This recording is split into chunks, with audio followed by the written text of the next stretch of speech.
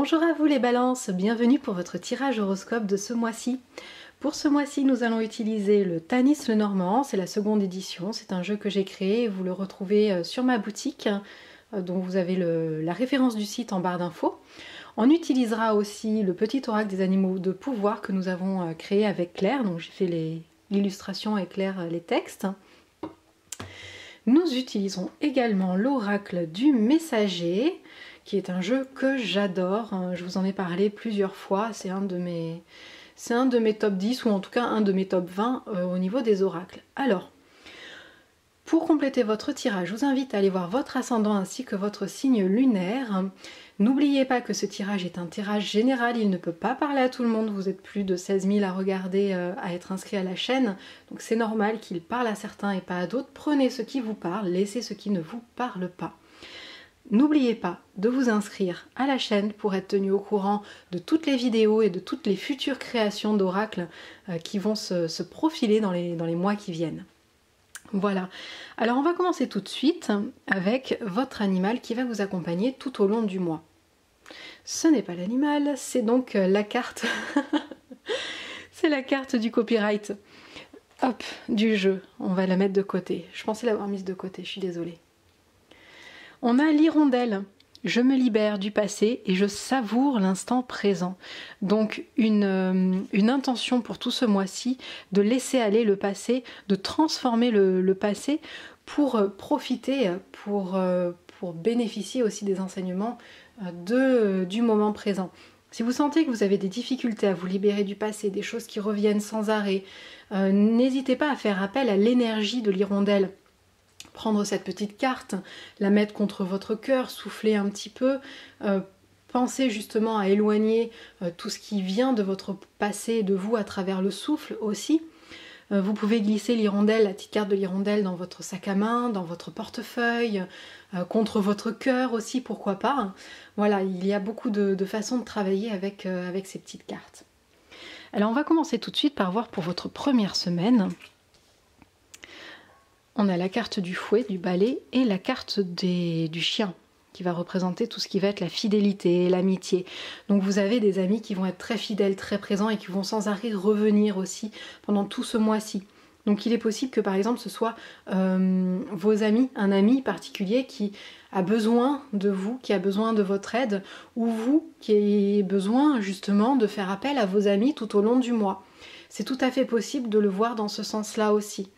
Euh, mais en tout cas, il y a cette idée hein, vraiment d'amitié, de fidélité qui revient sans arrêt tout au long du mois, qui vous accompagne, pardon, tout au long de votre semaine, excusez-moi, puisqu'on est pour la première semaine.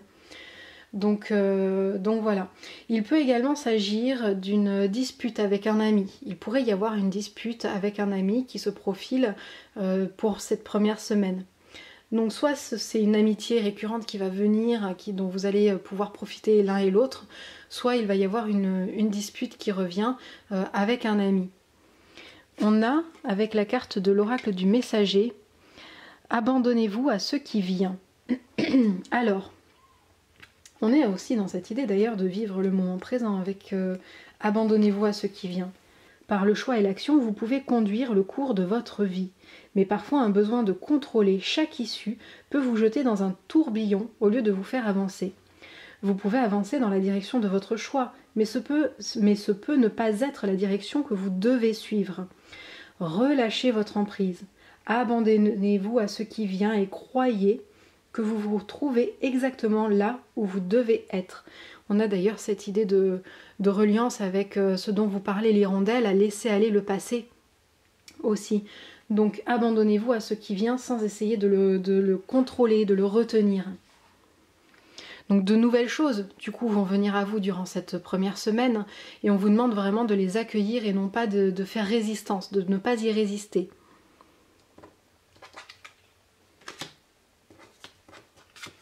Alors pour la seconde semaine, nous avons la carte de la faux, la carte de la croix et partagez vos pensées. Alors ici avec la carte de la faux et la carte de la croix, très clairement, vous allez couper quelque chose de façon définitive. Cette seconde semaine, ça va être vraiment le moment de mettre fin à une situation qui vous pesait trop lourd. Euh, un fardeau que vous, aviez, euh, que vous aviez sur les épaules, peut-être aussi des valeurs qui ne vous correspondent pas, parce qu'avec la croix, on a cette idée justement de, de valeur qui est présente. Euh, on a cette idée de doctrine, de, on peut avoir un dévouement pour quelque chose. Et là, il va falloir cibler le dévouement, ce pourquoi vous allez vous dévouer. Il faut que ce soit quelque chose qui vous parle au plus profond de vous, qui fait vraiment résonance en vous, parce que vous y allez, aller y accorder beaucoup de temps et d'énergie. Donc là, coupez définitivement les liens et les choses qui ne vous correspondent plus. C'est très important et c'est l'action que vous allez pouvoir mener durant la seconde semaine. Alors avec partager vos pensées, on a ce message. Vous avez des espoirs, des rêves, des buts et des idées. Ne gardez pas jalousement vos idées et ne les cachez pas en vous, de peur que quelqu'un puisse les voler ou vous ridiculiser au lieu de vous aider. Il est temps de partager vos vues. Parlez au grand esprit et à Gaïa de vos rêves et de vos espoirs afin qu'il vous envoie ce dont vous avez besoin. Parlez de vos rêves aux autres. Contactez ceux qui partagent vos buts et vos espoirs car ils peuvent être en mesure de vous aider à réaliser vos rêves. Donc ici, on vous invite bien sûr à partager ce qui vous tient à cœur et en même temps à couper justement les liens qui ne vous servent plus, qui ne sont plus profitables pour vous. Hein. De vous séparer de l'inutile et euh, de parler de ce qui résonne vraiment en vous pour, pour l'atteindre, pour atteindre cet objectif. Alors on va voir la troisième semaine. La carte de l'encre, la carte de l'enfant.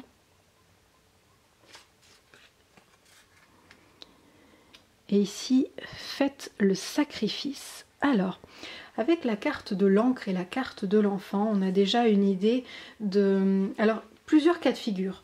Vous êtes peut-être parent, vous avez peut-être des enfants ou vous travaillez en contact avec les enfants, et là on vous indique, de, vous montrer stable, de vous montrer solide pour être un lien fort avec votre enfant et pour lui apporter de la solidité.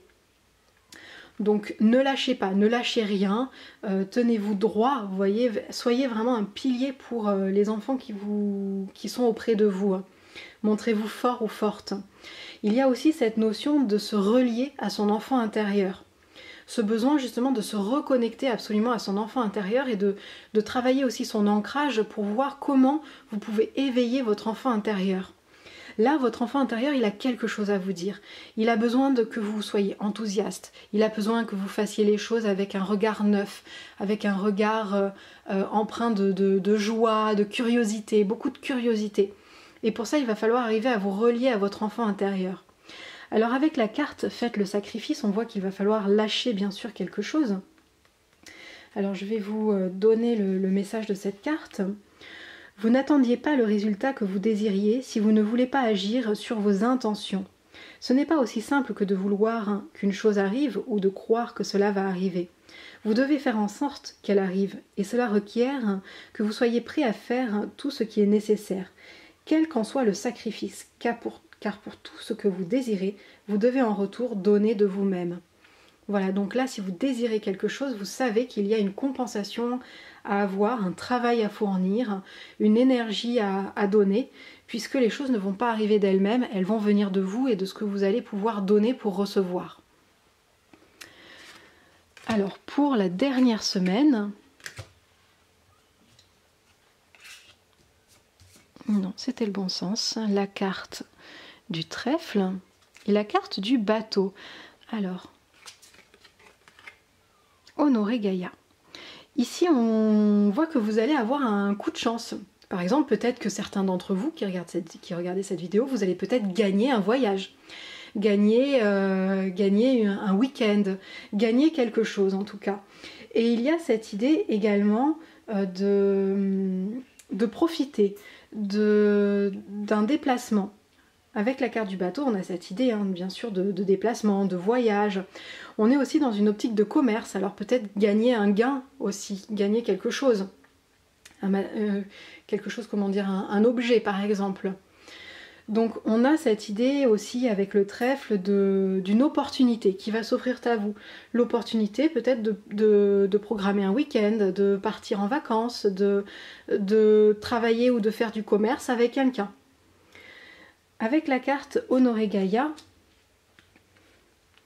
On vous dit que la terre sur laquelle vous résidez est plus qu'un rocher recouvert d'eau, de pierres et de poussière. La terre qui est sous vos pieds, les montagnes, les forêts, les rivières, les lacs, les océans et l'air que vous respirez sont des parties de l'entité vivante et magique qui est Gaïa.